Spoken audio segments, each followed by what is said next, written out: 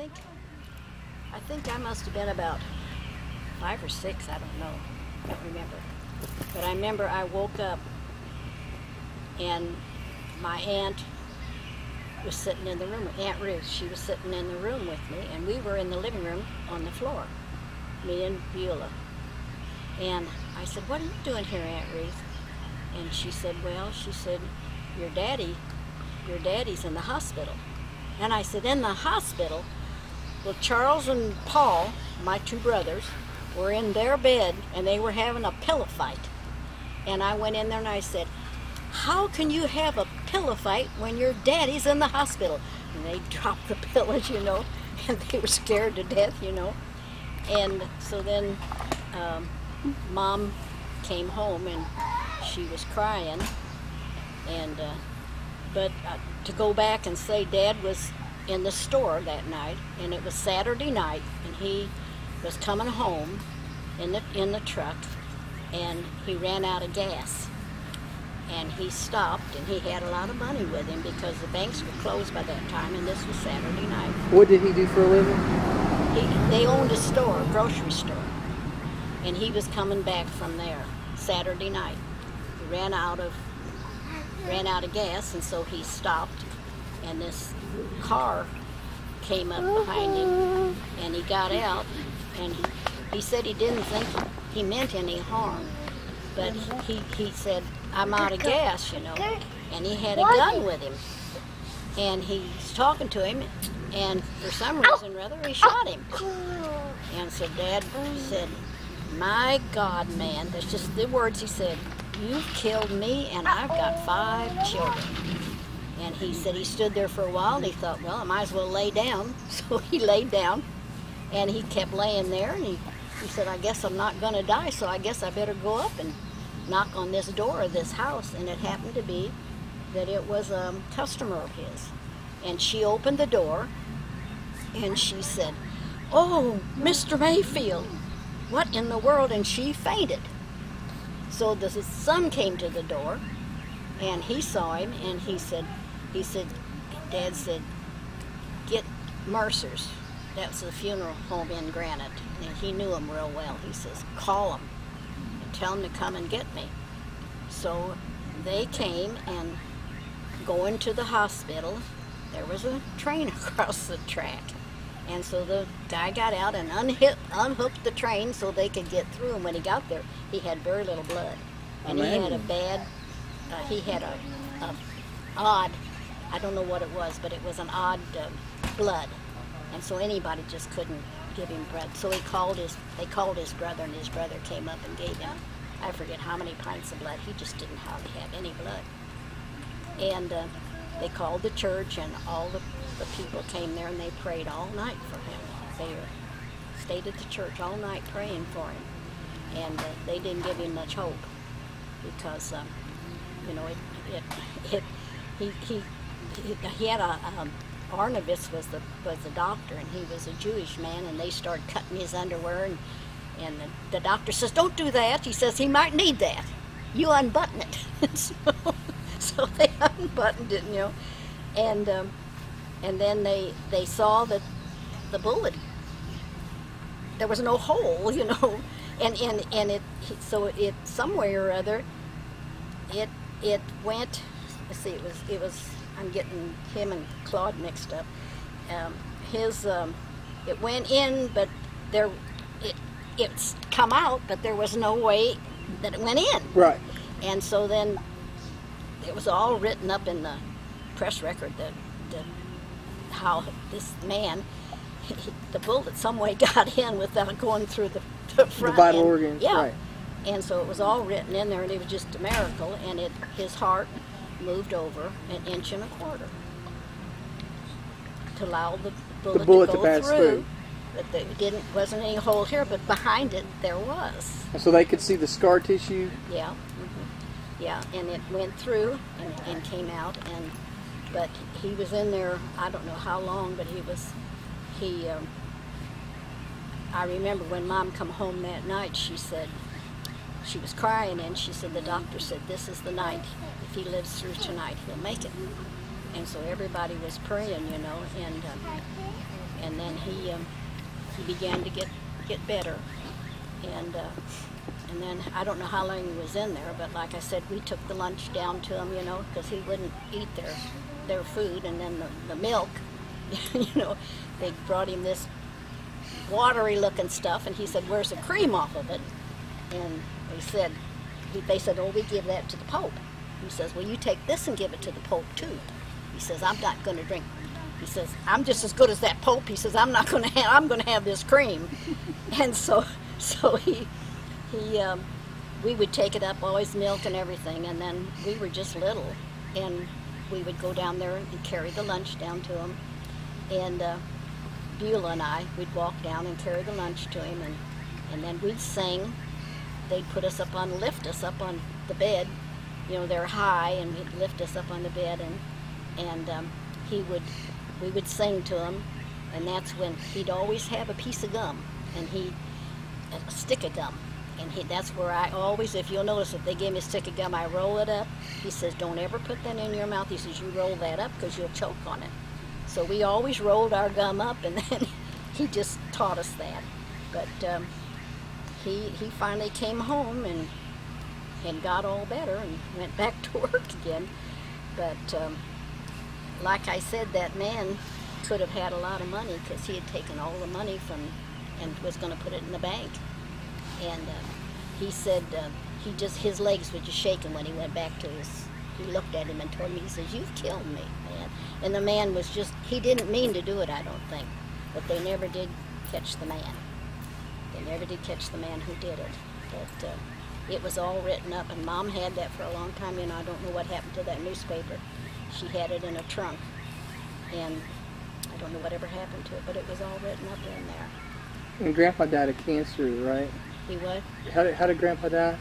Great Grandpa. He had cancer. He first had uh, had uh, let's see, first it was colon cancer, and uh, they said they got all of that, but then I think it was five or seven years later he got lung cancer, and um, that's why I don't think I think when you have cancer, it's going to go one way or the other. It always seems like they say, you know, it's not, but uh, I think it did. I think that's what it was. And he got to testify though over and over when they would. Oh yeah, he'd testify at church, and and, uh, and he was active with the kids. He he'd take his truck, and it was a it was um, all solid, you know. And in the back of it, he'd put benches, and then he'd pick up all the kids that wanted to go to church. And then we'd be back there, us kids would be back there, and Paul, my older brother, there was a little space in the door, and he'd get up, and us kids would be screaming and hollering, you know. and and then one time, uh, uh, Paul was uh, riding in the car, nor was Charles, I think, was riding in the car, and the door came open, and he was hanging on to. He, he said, "Hang on, boy," he said, "till I can get this thing stopped," you know. And Charlotte, she was in the back, and the stakes came out of the, and she fell onto the cement, you know, the highway. We had experiences, I mean, all the time. We were, we were in this, we lived in behind the store, so that, that uh, every time Dad would go into town or something, we'd say, we want to go too, and he'd throw us in back of the, the, the truck and take us, you know. So we were, and we'd run up and down the, the streets at night, and, and, uh, Paul, he, he went up and there was a man, he wasn't, they called him Jack, but he wasn't right, you know, and he, he liked him and he talked to him and he'd say, Jack, now I want to show you how I'm going to really have a waterfall here. And he'd hold that faucet down as long as he could, you know, and then he'd turn it loose and then he'd go, oh, it would go way high, you know, but we were just into everything.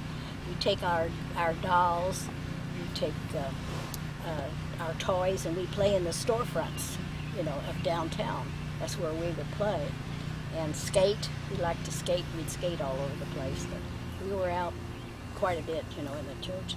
Now, when Grandpa got shot, did he had he already lost his leg? Did he what? Had he already lost his leg? That no, he lost his leg late. How did he lose his leg? How did he lose his leg? He was out with a chainsaw. Oh yeah, he was in the back, and that was when they they moved from way there. out in the he was in the back in the country and he was uh, sawing trees and stuff, you know. And he forgot to put the safety lock on it and it got away from him. And it started down here and went up his leg this way. And, and so uh, he had, this man that worked with him, he, he had a, a clean, brand new rope in the back of his truck and he went out and made tourniquet, you know. And he wouldn't let mom come out. And mom says, oh yes I am, he says. He said, oh no, he said, you'll faint. He says, she said, I never fainted in my life. And she, she went out there right with him, you know. And, um, and they took him in, but it was just a small hospital and they just took the leg and the skin that was left and just wrapped it around what was left. And um, it, it always did bother him. Always did bother him. The nerves. He said he could, maybe it's like that, but he said I could, I could feel every one of my toes. So I could tell you. He could feel them, the nerve, I guess, or something. But um, they called, and I was living in Minnesota at that time. Were you with me yet? Yeah, in Minnesota, and and they called me, and and I think it was Betty. Betty, she called and said, "Well, your dad's dying." Just this was the way she said, "Your dad's dying," and so I said, "What happened?" And she said, "Well, hmm? his heart won't take it. He, he got his leg cut off, and his heart won't take it." She was she was a liar, and so we she so then we I, I don't know how it was. I called the schools i think it was and you guys were waiting out there and i said i'm going. And uh, so uh, was that the time i went down with i think paul was there too? You went and got, you went and got Aunt Beulah. yeah i went and got beulah. It was oscar couldn't go and then I got you guys. You guys met at the school. You came out and I picked you up at the school. I said, I'm going. I told my boss, I said, I'm going now. And so I just went to get the schools and, and I went then to, to Beulah's and Oscar kept saying, well, I don't know. I said, I'm leaving here. I said, it's 7 o'clock. I'm leaving here. And I said, you can either go or not, you know. And so then I drove as far as Paul's. They were, they were in... Um, they were in Minnesota at that time. We drove and got Paul, and he went with us. Did Then Den, Denny went, and Kathy went, and you two. And we went down- in the front seat and four kids in the back. Yeah. Oh, and it was Oh, below zero. It was below zero. I mean, it was so cold. And we were driving along, and Paul was driving at that time, and we started slipping. And we started going for this sign that was out there. You remember that? Yeah. And he said, "Here we go," and we just kind of just slid right down there. And he You know says, "You can drive Jesus from now on." He said, "So." It was exactly like that. Yeah. We just sat there and Yep. slid off the road and he said, well, okay. Here we Yep. go. Here we go. Thank Yeah. It just, it just, you could see, you could see there was a sign out there, and we were going to hit that, but we would just slide and like that, you know. So then he says, he said, "Sis, you drive from now on." He said, Oh. so it was my car. So, so we drove. and We got to the hospital, and and uh, they let us go in, but they wouldn't let the kids go in. So Paul said to Denny, he says, "Take this glass of water to Grandpa." So he started down there, and she said, "Well, if he can go, I can too." And so she just started off down the hospital too. She says, "That's my grandpa, and I'm going to see him too." So they all went, and all the kids went. Well, the nurses came in and made him get out, you know. So then they went outside by his window, and they was all standing outside by his window. I bet they were glad when we left. but he, um, he, he's he's had something all the time. I mean, he just seems like everything was happening to him, but he had such faith that he just would take it. You know, he would just, I don't know, he was a strong person. And um, then when he had this, I guess when it was his, he had a, his lungs, we drove there, and that was also, a, remember that was a, uh, we had a blizzard. We had a blizzard, a blizzard. and we were going down there, and he was supposed to be operated, I think, on that that night or something, and he he wouldn't go to sleep. They kept giving him stuff, and he says, "No, not till my family gets here." He says, "That's all. That's that's all my family. That's on their way." And they said, well, they probably pulled off the road. He said, no, they wouldn't do that. Said, they wouldn't do that. They know I'm waiting for them, here. You know? so we, we didn't go up there. We went in the hospital, but we went on and got a motel uh, right across the street. And so then we came in in the morning and I could hear him talking. We went in there. And, sh- and the nurse said, uh, where were you? She said, we were up with him all night. He would not go to sleep because he was afraid that you you were hurt. You, something happened to you. And I said, well, we were right across the street. She said, if I'd have known that, I'd have walked over there. She said, she said, he, and I could hear him, and he said, get in here, like that. He says, where were you? And I said, well, we didn't think you were, we thought you were asleep. And, and he says, I didn't sleep all night, like Aw. that, you know. And so then they finally went in there, and, and, and they, um, they operated on him. But when they operated for the colon cancer, they told us they got all of it. But when they operated for the lungs, they said they, they couldn't get it all. And I said, why didn't you take the whole lung or something like that, you know? And they, they said, you can't do that, you know. But anyway, I said, well, how long has he got? He says, about seven years. Well, he lived 10 years or more, more and like that after that.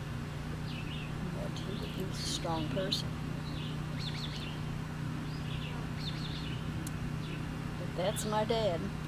You told me a couple stories. They were kind of short, but something about in the Great Depression, how they were making money with the bananas and Oh yeah, everybody else wasn't having any.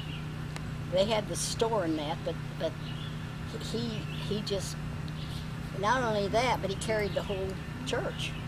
They we had boxes like this and little bitty tablets all the way through, and they put it on the account, you know. And so when they they had they had I don't know how many of those boxes that he just kept the whole church, you know, by letting them have the food but then they didn't pay. And when they would get cash or something, they'd go to one of the other stores and get cash rather than coming and giving the cash to him, you know. And uh, but he just tore all the books up and let them go. And uh, but he he always seemed to be able to make a job when there wasn't any job. He never he had five kids and, and he didn't take any of the you know they gave you something I don't know what it was but but he worked and Welfare. yeah, they, he never, and all the rest of them, it was bad. It was depression. They always make a job. So then, when he sold the store, he got the idea that he'd have a truck built, and he would stock it, and he called it a store at your door. It was Mayfield's store at your door. So he'd go to the houses, and it had in the front that was built over it. There was a refrigeration up there where he had meat, and then he had all the different canned goods and cakes and pies and everything you could think of, and that's where he would he made the living. And um, Paul worked with him some, and then he had a couple of schoolboys that would help come and stock the shelves and stuff for him. But that's the way it was. And then Charles, Paul and Charles, uh, he took him out there one time and he said, Charles, see that says Mayfields? He said, you see that S there? He said, for Mayfields? He says, that's me. He says, I'm the son. He says, you see that apostrophe? That's you. so Charles was do a. Yeah. But can't think of any stories. well, there was the other one you told me is what they what happened. Um, I think it was like Pearl Harbor. You you I'd asked you because we were in class and then you were saying you remembered you were in the room when the radio came on and both of them you know I don't remember who it was but it was like your dad and someone else like looked at each other and they said this means war. So hmm Yeah, we were out. We were out at their house. Uh, I think. See, I was married, and, and Paul and Paul was married, and Charlotte was married. Charles wasn't married, and Eula wasn't married. But that we were out there on a Sunday, and they had the radio on, and it came on that they had hit Pearl Harbor. And Dad said, that means war, you know. And he just looked around like, this is the last time we're going to all be together. Because Paul went in and he was in the infantry. And uh, he wouldn't talk about it. He actually slept in German blood. They didn't give any replacements.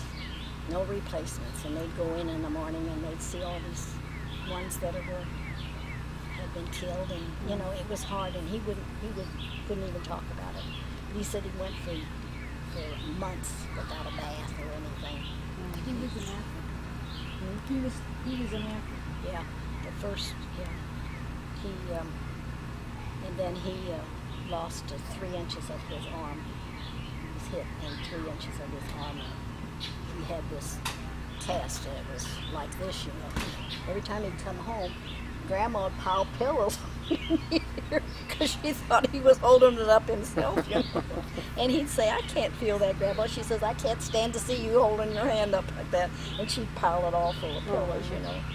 But um, he he was in there. He didn't get to come home. Or I don't know how long, but um, it happened every time that I would I would sleep and I would dream, and I'd be a nurse, and I'd be out with all these soldiers laying on the ground, you know, and I'd turn them over, and I came up on Paul, you know. I did the same thing with Claude, you know, and uh, John was in the Coast Guards, and I, I didn't dream about him, but I did about Paul, and, and I'd see that, and and I. Uh, I got up. I had this dream this one night, and I got up and I, I was at mom and dad's, and uh, Claude was overseas, and I just knew something happened. And I got up in the morning, and I, I went in this little room, and I, I prayed and I prayed and I prayed, you know. And I got up in the morning, and I said, Mama, I said something's happened to Claude. I said, she says, no, you're just upset. I said, no, you mark this date.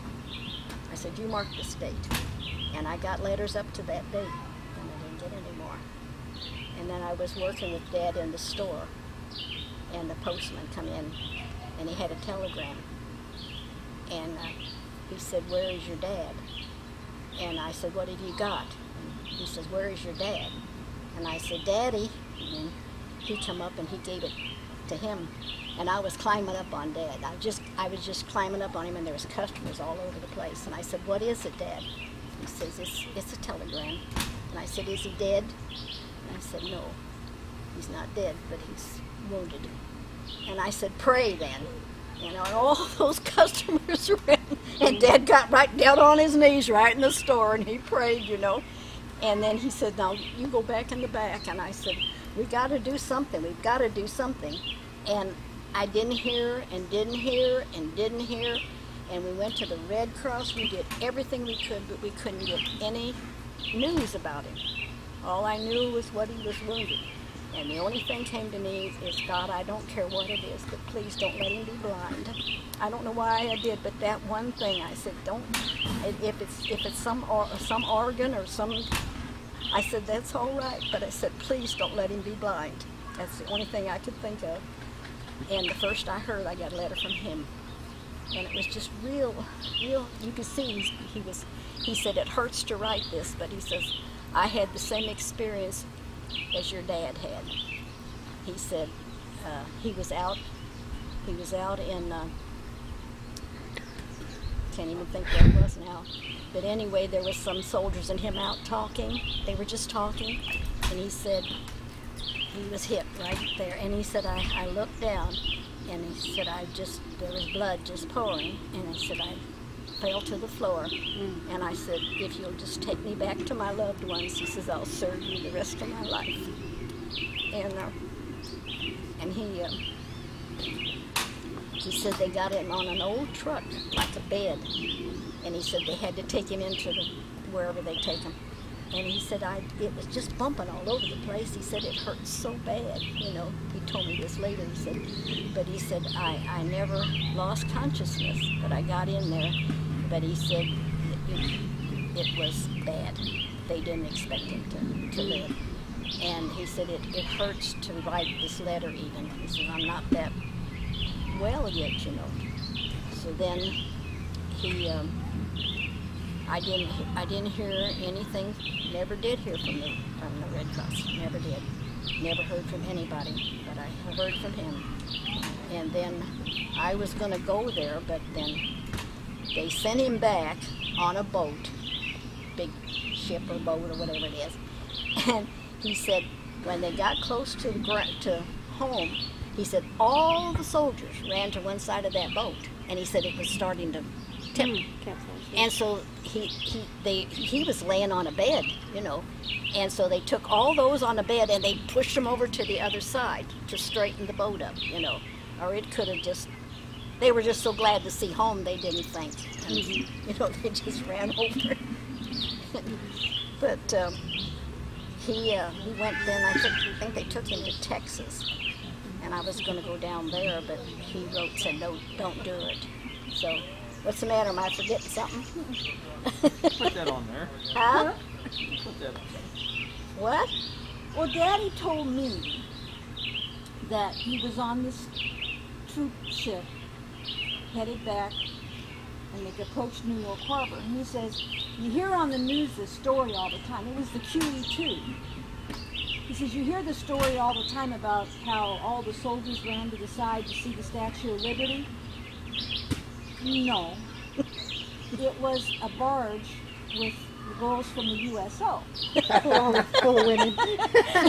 and all the guys ran to look. And yeah, just about drowned. They said They it almost capsized. They almost Oh, capsized. Oh my yeah, goodness. because they just, you know, everybody running to one side, and they're helpless, laying on the He's bed. like, Lord, you brought me all this way. yeah. I'm gonna know, and I'm gonna drown.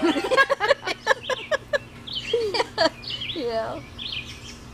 Yeah, it was. It, it wasn't too long, and then he got to he got to come home. we didn't tell him what happened to the bullet. Why he wasn't dead. Well, yeah, um, it, it was that the bu- the bullet went. He had when they take you over there, they give you a little testament, and then he had a cell, celluloid, I guess you call it, his all of his papers in there. So he had that, and he had um, uh, his, his. It was in his pocket, the Bible. They give you a little testament. So he had that in his, and it hit that, and it turned it.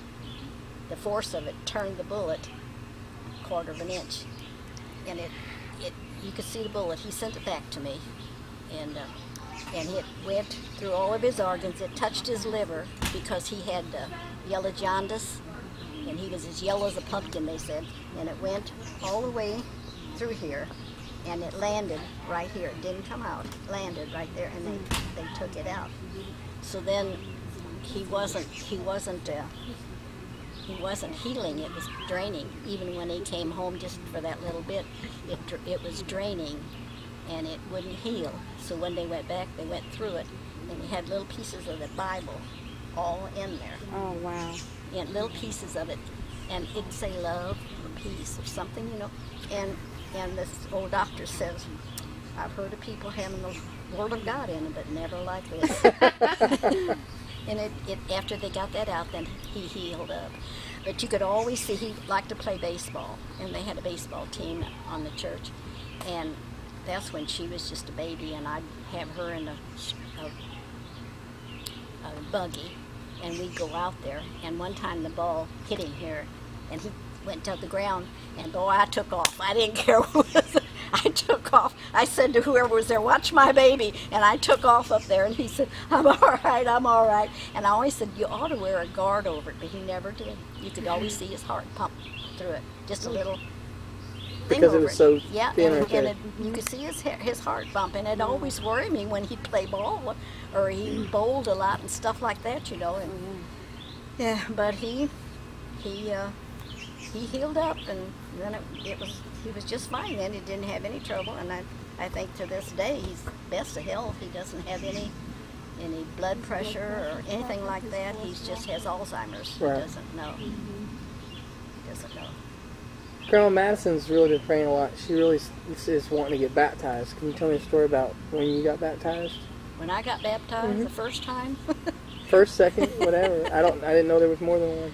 Well, I was baptized the first time because it was it was Trinity, hmm and then when I went to the church, I was baptized. uh, You know, with the Lord Jesus Christ, one God, and uh, the Minnesota River in August. huh?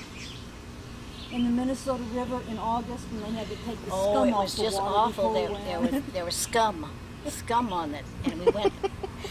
It was it was green scum, and and there was a bunch of kids over on the other side, and they were laughing at us.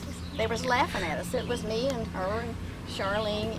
Or where is she? You might have- She's got the baby. yeah, and they were on the other side, and we we were waited out to that. You know, we got pushed to the side and went out there, and it was August, and that's when they have it just it's just ishy up there in August. but uh, we were So you were all three baptized together, or uh huh, yeah, same time? all three of us, yeah. And then what got you to Indiana? Dad, dad, and mom, they came up there. We gotta Oh, turn yeah. that both sides of the story.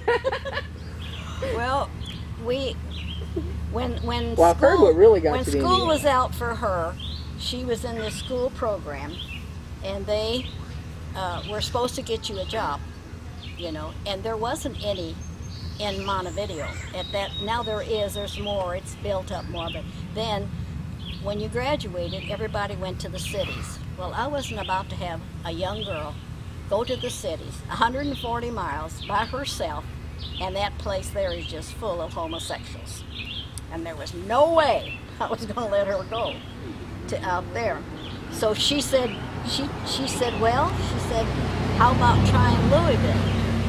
Because mother and dad were living in down here. So she they they called Louisville and they said, send that girl to us yesterday because she was in a small office. She knew all the, and she they wanted her right now. So that was hard. that was hard, you know. But I, I didn't know what else to do, and so um, we went and I've got pictures of it yet where he's getting on this plane. and Dad, I, well, I called Dad first and I said, Dad, how would you like to have Claudine come down there? He says, Don't be fooling around with me. He says, I don't want to hear that. He says, "Don't- What are you calling for? I said, She, I want to know if you would like to have Claudine come down there. Well, of course, she said. He says, You know I would, you know. And, and he said, uh, uh, What's, why, why, you know? And I, I said, Well, you know, she had to have a work, and that's, so we went down there, and it, it was just God's way of getting us there, you know. But then, boy, when we had to set the table for just the two of us, and Charlene was not a talker. She still isn't, you know. But we would be talking, and she'd come in the room, and she'd just turn around, and she'd have tears in her eyes, and she'd walk out. And she said, she said, you don't want me here. You, you're talking about me, or something like that. I couldn't. She was just well. She had a hard time after her dad left. She had a hard time and uh, she always felt it was her fault because of her name, because he married us, Charlene. And she just always felt, I don't know, like it was her fault, and it wasn't her fault. But um, uh, she had the same trouble then when she, when she started, when she graduated, we had the same trouble, you know. And um, am I talking too much? No, oh. And so when she when she graduated, I thought, well, what are we going to do now, you know? And uh, she couldn't get a job. She was working through the school program. She was working in a dentist's office, but they didn't want full-time help. So, so I, I, I didn't know what to do, and so we flew down here. It was on Christmas, I think. And we flew down here, and I put applications in everywhere uh, for the electric company, but there was no openings. Even Brother Jackson went to court and put one in for me, you know, but it just just didn't work. And uh, so then I went back, and I was so sick when I got off that plane. I never could ride on a plane. I I just I just sick. I couldn't even ride in a ca- car at that time. and so then um, we we came back, and I got I came in the house, and I was so sick. I just dropped the suitcase and I went and I just flopped across the bed. When I flopped across the bed, it said September 1st. It kept saying September 1st, and I said, "What's September 1st?" And I got up and I said, Charlene, do you think we could be ready to leave September 1st? She says, Mom, I knew we were supposed to leave, but I had to wait for the Lord to show you. That's just what she said. So I says, well, I'll go in and I'll talk to the boss.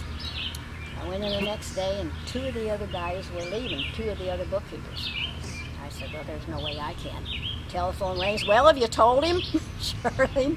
I said, Charlene, I can't. I said, Bill and I forget the other name. They're they're leaving. She said, Well, are you going to obey God or are you going to obey man? You know her. She just. So I said, Well, I, I don't know what to do. And she says, Well, you got that's your that's your that's your place. To, you the one. You're gonna have to do one or the other. So my boss come walking into the into the front of the office there. Yes, you know. and um, and I said, Mr. Lake, I said, would you be mad at me if I told you I was going to leave? He said, I knew as soon as Charlene or Claudine left that it was going to be long that you'd be going. And I said, well, I just. He says, are you sure? And I said, yeah, I, I, I'm sure. And so then he just walked out.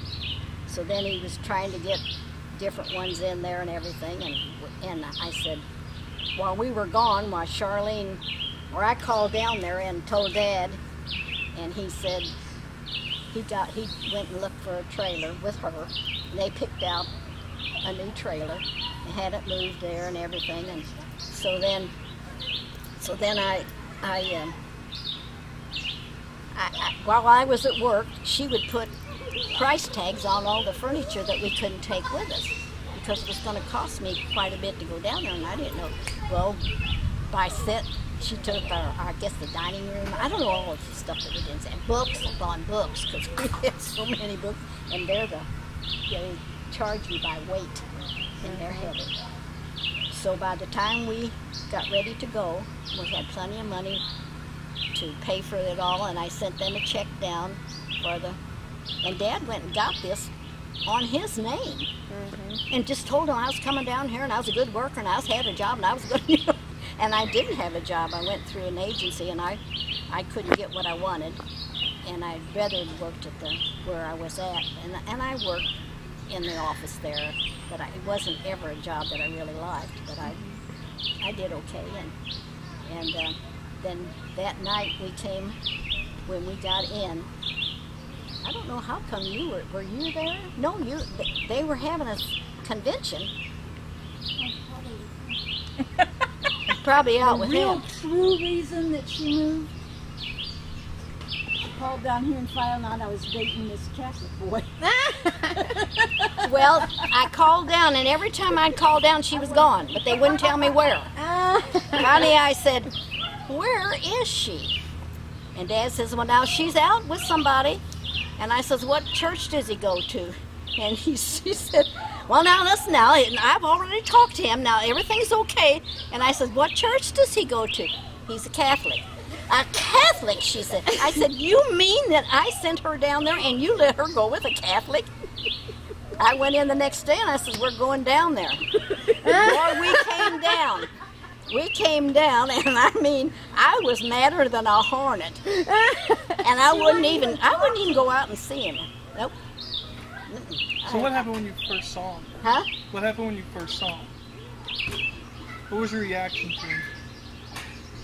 I think it was at church, wasn't it? I don't remember.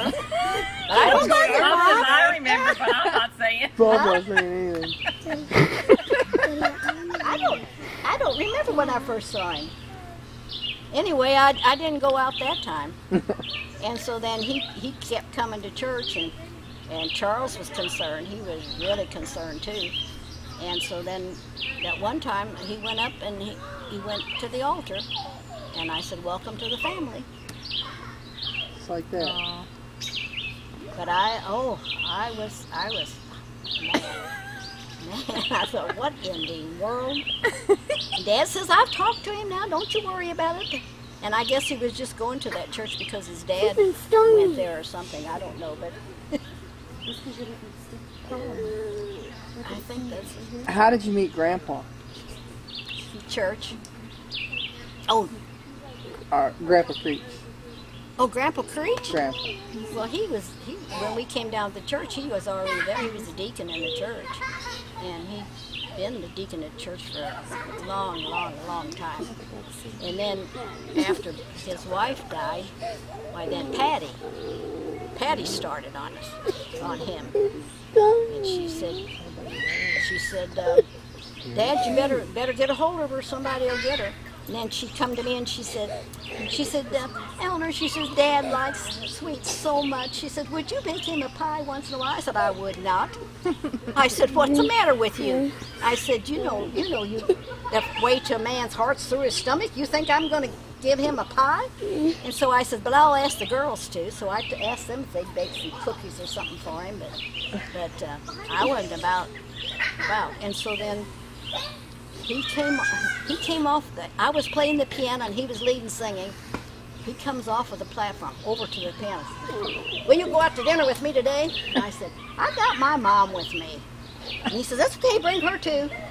So it started like that, you know, and I, so then I thought, uh-uh, this ain't this ain't for me. So I told him, he asked me if I'd go riding with him or something, and I said, but I got to talk to you. He took a pain pill that night, a nerve pill that night. And I told him the story. I said, There's nothing wrong with you, but I said, As much as I love my husband, and I said, He was unfaithful to me, and not only that, but he lied to me. I said, There's no way that I could ever trust another man. Never. I said, If I couldn't trust him, there's no way I could ever trust another man. And he said, Well, once in a while, will you go out and have coffee with me? I said, If you understand what I'm talking about, I'll go have coffee with you sometime. But I said, Don't ever think anything more. Because I said, I can't, I couldn't trust anybody. And so it wasn't, he kept going and kept going, and I could see where he really was. He wasn't that type of a man. And so, but I, I, I didn't think, I didn't think Rod was either you know, I, I just, and he said I made it easy, for him because I believed everything he told me. I said, aren't you supposed to, you know? And so he told us to go take a vacation and at mom's when school was out. And while I was up there is when he married. And he tricked me into the signing papers by saying he'd come back. And so I, I, I just there was some, and, and it seemed like when I was at work, it was always the married men that would come to me, always. And I thought, are there no good marriages? You know, I just just couldn't believe it. I don't think you want this on here. You're fine. And I didn't mean to put that on. I forgot about that. I can delete. It's not a big deal. You're Just- fine. anyway, this one I took, I said, he came by and got me, and we went out, and I said, we parked someplace, and I started to tell him. I told him they thought I was a widow. A lot of them in the church thought I was a widow, you know, from the war. And so I told him, I said, there's nothing wrong with you. I think you're a good man, but I said, I don't, I don't trust, I don't trust men. And I said, there's no sense in even going on with this if you can't trust them. And he just kept coming, and, and I could see that he was a, a good man, you know. So finally, we weren't married one month till he called me at work one day. And he was stuttering and stammering around. and I thought, I said, what's the matter? He says, I, I, I, uh, uh, and this way he was going, I, I, I, and I said, what's the matter? And he said, I'd rather take a beating than tell you this. And I says, what? And he said, my boss wants me to go out of town with him tonight, and so I'll be late tonight. And I said, okay, I'll see you when you get home. And I, I never, nothing ever, it didn't, it didn't phase me, but I'd heard that so much. I'll be late tonight. I'll be late tonight. But it didn't phase me. I just didn't. I don't know why. And I heard the car drive up, and I heard him open the door and he grabbed me. He says, "I've hurt you, haven't I?" Tears was just rolling down his cheeks. I've hurt you, haven't I? I said, no. I said, you just proved to me that I can trust you. I said, I didn't even think a thing about it. I didn't either. And I just, I just knew he wasn't that way. You know, he just, I don't know. How did- I, I believed him too. How did he propose to you? Oh, get down from here. He was, he was, um, how was it? He was, he was at his, his place there, and we were sitting around there, and he was walking around. He acted like a nervous, and he said, he said, uh, I don't know how we got to it, but he was stammering around, and finally I said, "What's the matter with you?" You know, he's just stuttering around. Up, up, up, up, up, up, you know. I says, "What's the matter with you?" He said, "Well, I, I want to know if you'll marry me." I said, "Why should I?" Just like that. He says, "Come on now." I said, "Why? Why are you asking me? You want somebody to wash your clothes and clean your house?" He said, "No." He said, "I love you." Oh no, he wouldn't say it. He said, "I, I, I, I just want to marry you." and I said, "Well, there has to be more than that." And then he's, he told me that he, he loved me, you know. And, but he was the hardest person to get to say anything like that. He just, he says, if you can't see it on me, why do I have to say it? I says, well, it means more if you can, Was that the Say first it. time he ever said that to you? Mm, yeah. When he asked you to marry him. Yeah, he, he, he would he would show by his actions that he cared for me, but he couldn't put it in words. And I made him put it in words, you know, because I'm not. I said I'm not going to just marry you because you want somebody to keep your house for you, you know. No, no, no, no, no. That, that's not it, you know. and then Patty, she was after him all the time. She just, I don't know why. She thought she's going to have to keep him. Uh, she thought that finally she'd be the one that, you know. And I and I told her that. I said, I don't know why you was pushing him at me. oh no no no no no! I said, oh yes yes yes yes yes, you know. but she she did. She was she was looking at, out for herself, you know. So, what were some of your favorite memories about Grandpa? What's some of the, your favorite memories About who? about Grandpa? Creech. Grandpa Creech. Yeah, just what do you remember about him? What are your fondest memories? Oh, I got a lot of fond memories, but I'm not Well, going to the ones you. that, that are PG. PG. Alrighty then. Wow. I did Yes, not think we did children. that on camera. That is your great grandma. no, What he, did- what he was the most honest man. Here we go, Tanner. The this most honest man I've ever known in my life to his own hurt. To his own hurt. He was the type of that I guess if it wasn't for my brother and my dad, they were kind of forceful. I might have, but it didn't bother me.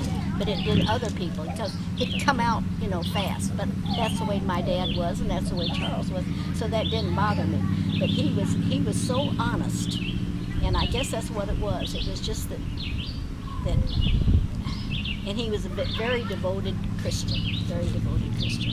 He didn't live a false life, whatever he believed. That's what he lived. And I guess that's so good with you boys. Oh, he loved them The boys. boys didn't have a grandpa. I know. They were close to Yeah. on our side. Yeah, And he he loved just- them. He just, Yeah, and, and, and the one thing I hate, remember when he told me about it? uh, Garrett was the oldest one.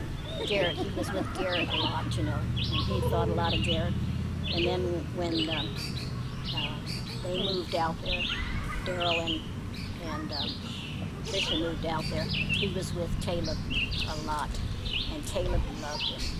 And I've got, he just, and the la- the one thing I regret there at the last when he was so weak, he would ask me every day, you know, wonder how Ca- Caleb's doing without me. And it was his way of asking to see him, but I didn't catch it that way. You know, I thought it would be too much for him, and so did they. And he would be sitting in his chair, and it had this thing that come up, you know, and he'd have his feet, and he'd climb underneath there where there was an opening, and he'd climb up, and he'd take him when he was cutting the grass. You've got pictures of where he's, Yeah. yeah. And he just, he just really loved kids, but he wanted them to mind, and that's what people didn't understand. Oh, he gets your ear. Not not your ear so much, but he pat pat you on the back. and that little Corey, you know, um, Carol Johnson's boy, you know, he was he was a mean little kid in church, and his mom would bring him back to him all the time for him to take care of. And I used to hate that. I said, now wait a minute. I said, don't make him always be the mean guy. You know, the one that has to do all the correcting. I said, you know, get somebody else to do it. But they'd always bring him back to him. And uh, Brother Ellen told it last night in church. He says, I remember he was talking about making your children behave, you know. But he says, not like they're doing now. They're beating them and killing them and everything. But he says, you can show affection to your kids and correct them without doing that. And he said there was a little boy, and he told about this little boy, and his mama couldn't do anything with him, so he took him back to, he said, Brother Creech. And he said, he said he wouldn't, wouldn't mind, so he gave him a couple little paddles on the back, you know. And he said, uh, that he says, I'm going to tell my mom, and he didn't care whether he told his mom or not. She dragged him back there for him to take care of. So he'd gone into the restroom the other night, and he was, he'd always say something to the kids uh, back there, and he says, "Oh, I know who you are." He said, "You're the one that paddled me," you know. And he said, "But I love you." Just like that, he climbed on his lap, you know. And he said, "But I love you," and he did. He's made a good life of himself, and he's a lawyer, or he's going to college, and he's getting really good grades and everything. A really good boy. And he came and asked me for a picture after he died. He said, "Would you give me a picture?" And I gave him a picture. And she said, "He don't go anywhere that he doesn't take a picture of him." So it, it was it was right for him to do that. She didn't. Her husband wasn't. I don't think she. I don't think she. She wasn't. She didn't have one. But um, I guess I've talked enough, haven't I? If there's one thing you think Grandpa would want his great grandkids that he hasn't got to see, if there's one thing he'd want to tell them, what do you think that would be? That he loved him. He'd put them on their knees, and he'd love him. And he'd, he'd instruct them. He wasn't. He loved kids. He really loved kids, and his own grandkids weren't around, and so he took mine, and and and and, and they were jealous of it. They were so jealous of it. And and I told him, I said, well, if you bring yours around, he'd love them just as much. But they didn't. And he, there were, he said, I've got grand, great grandkids that I don't even have never seen, you know. And and he, he just he went to my family, you boys. He thought so much of all of you. You know, he just really. He's got that picture of you in there where he's showing you something in the in the you were grinding something, you know, and and he just I don't know, he just really he really loved you boys, and and I think he always wanted his own to be like that, close to him, but, but they weren't, you know. And at his funeral, one of the boys said, different ones you got up and talked about him, and the different ones from the kids at church talked about him, and he said to Ruth Ann, I forget what his name is. either, He says, I didn't really know my grandpa, did I? She said, No, you didn't. Mm-hmm. You know, and that's what he desired. And so he couldn't have his own, but he went to you guys. Mm-hmm. He was a good man. Mm-hmm. I miss him so much. You just, this is, you know, you, you try to get by, but it's always there. You know, anybody, nobody knows until they do go through it themselves. You know? Hmm? But it just, a lot of times, it's, why did you leave me in this mess? You know, things I can't do. I can't do the things that I used to do, and it needs to be done.